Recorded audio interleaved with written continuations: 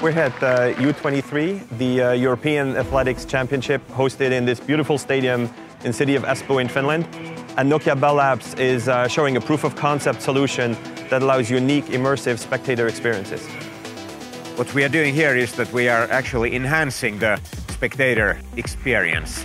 We are giving them a possibility, either with their mobile phone or even with an AR device, to go onto the field almost as if they were part of the event itself.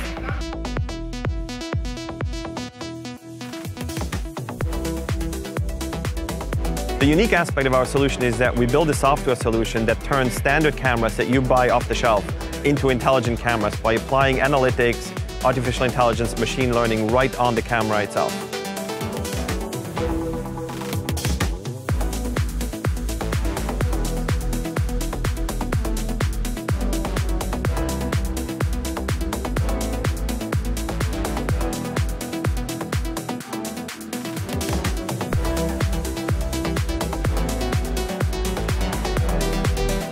This way we can save on bandwidth and we don't need to send all the data to the cloud and that has benefits from a network consumption perspective, sustainability as well as data privacy and security.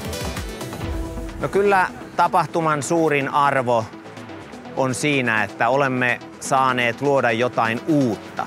Esimerkiksi parkkipaikka kokonaisuus. En viiden päivän aikana ole lukenut ensimmäistäkään viestiä, joka koskisi parkkipaikkaa. Eli tämä jo osoittaa sen, että katsojat ja kuluttajat ovat ottaneet ja testanneet tuota parkkipaikkasovellusta.